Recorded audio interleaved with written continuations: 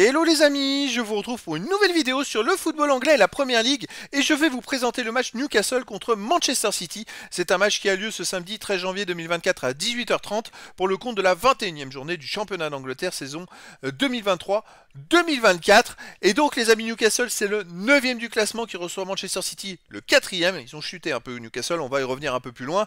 Euh, c'est vrai qu'ils ont enchaîné trop de matchs avec la Ligue des Champions où ils sont complètement éliminés des Coupes d'Europe et ils se retrouvent 9 au classement. Donc les amis, dans cette vidéo, on va revenir sur le classement de la Première Ligue avec les stats de ces deux équipes, puis on verra le classement des meilleurs buteurs et passeurs pour ces deux équipes toujours en Première Ligue. Puis on enchaînera par les 10 derniers résultats de toutes compétitions confondues et les stats, et on terminera par les compos d'équipes et tactiques éventuelles, ce qui nous permettra d'avoir une idée, une tendance à ce match. Pour ceux qui souhaitent voir ce match à la télé, vous pouvez le voir sur Canal Plus Foot. Alors au classement, on a donc Newcastle qui est maintenant 9ème euh, de Première Ligue avec 29 points en 19 matchs, 9 victoires de nul, 8 défaites, 37 buts marqués, 25 encaissés, plus 12 de différence de but.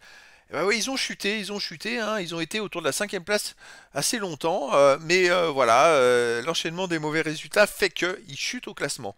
Manchester City de son côté est quatrième avec 37 points, mais en 18 matchs, donc ils ont un match de plus à jouer. 11 victoires, 4 nuls, 3 défaites, 33 buts marqués, 21 encaissés, plus 22 différences de but. Manchester City a la meilleure attaque de Première Ligue. Après, c'est assez serré entre plusieurs équipes, hein. et ils sont à 5 points du premier Liverpool, mais s'ils gagnent leur match en retard, ils reviendraient à 2 points. Au niveau des buteurs, on a Haaland pour City qui est euh, avec 14 euh, buts en 15 matchs. Est-ce qu'il va être présent? On va voir plus loin dans les compos d'équipe parce qu'il s'était blessé.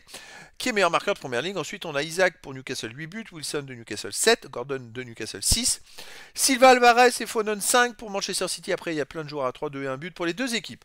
Pour les passeurs décisifs, Trippier de Newcastle, meilleur passeur de première ligue avec 7.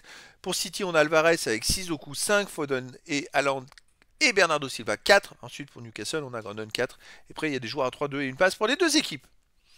Allez, les 10 derniers résultats, toutes compétitions confondues. Et euh, c'est là qu'on va voir la chute de Newcastle.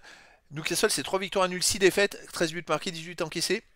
Euh, plus 6, euh, plus moins 5 pardon, de différence de but. Et donc, vous voyez, en championnat, il reste sur 3 défaites de suite. Alors si on va plus loin, sur les 6 derniers matchs de championnat, ils en ont perdu 5 et ils ont fait qu'une seule victoire. Donc ils ont pris 3 points sur 18. Donc voilà, ils étaient autour de la 4 e 5 e place, ils ont chuté à la 9 e place direct. Chez eux, euh, ils restent sur une défaite contre Nottingham Forest 3-1 ils n'étaient pas habitués à ce genre de match. Une victoire contre Fulham 3-0, une défaite contre l'AC Milan 2 buts à 1. Là où ils se sont retrouvés, ils menaient 1-0. Euh, ils étaient presque en train d'essayer de se qualifier pour les huitièmes du final avec les champions. Finalement, ils ont été rattrapés par Milan, dépassés par Milan, qui les a éjectés de toute Coupe d'Europe. Euh, c'est dur moralement. Ensuite, avant, ils avaient gagné contre Manchester United un but à 0. Donc c'est vrai que sur les 4 derniers matchs à domicile, ils restent sur 2 victoires et 2 défaites. Mais c'est plus compliqué, on est loin de l'équipe en début de saison qui prenait très peu de buts et qui gagnait quasiment tout à domicile. Manchester City, de son côté, euh, sur les 10 derniers matchs, 7 victoires de nul, seulement une défaite, 27 buts marqués, 10 buts encaissés, plus 17 de différence de but. Alors City a s'est retrouvé, il y a eu une mauvaise période à un moment, c'était assez bizarre, et c'est là où ils ont perdu la première place d'ailleurs du classement, enfin, où ils se sont éloignés des premiers, mais euh, depuis, sur les 8 derniers matchs, c'est 7 victoires et un nul, ça carbure, ça marche, même s'ils ont joué quand même pas mal de matchs sans Haaland, mais ils ont gagné le mondial euh, championnat du monde des clubs, c'est pour ça qu'ils ont un match de retard, euh, parce qu'il y a une journée où ils n'ont pas pu jouer, euh, parce qu'ils étaient en finale du mondial des clubs. Alors, à l'extérieur, City reste sur une victoire à Everton 3-1, une victoire à Urzawa Reds, ah bah, c'est les deux matchs, et contre Fluminense 3-0 et 4-0.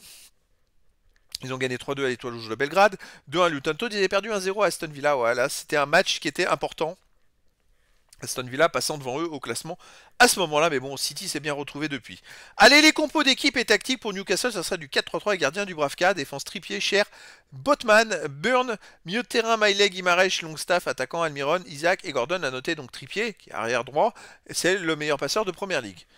Euh, côté City, on aurait du 4-2-3-1 et non pas de Haaland, avec gardien Morez, défense Guardiola, Ake, Diaz, Walker, milieu terrain défensif Kovacic, Rodiri, milieu offensif, Elie Doku, Foden, Silva, Doku le retour, euh, qui s'était blessé, qui avait raté pas mal de matchs, et attaquant Alvarez, si Doku est là, c'est peut-être pour ça qu'ils se remettent à tout gagner.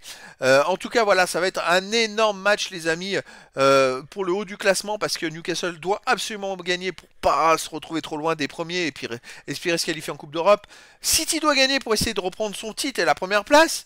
Et donc, les amis, rendez-vous euh, ce samedi 13 janvier 2024 à 18h30 pour le match de la 21e journée du championnat d'Angleterre Première Ligue saison 2023-2024.